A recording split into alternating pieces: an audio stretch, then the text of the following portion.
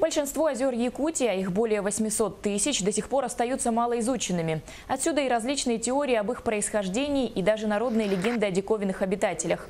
В Якутске сегодня открылась международная конференция. Участие в ней приняли российские и иностранные ученые, занимающиеся исследованием прошлого озер – палеолимнологией. Именно в последние десятилетия появился интерес и проводятся интенсивные исследования в одном из самых крупных регионов России.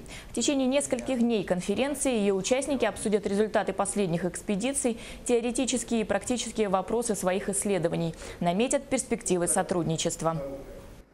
Это территория, которая э, очень динамично реагирует на глобальные изменения климата. И озера являются естественным интегратором информации об этих изменениях.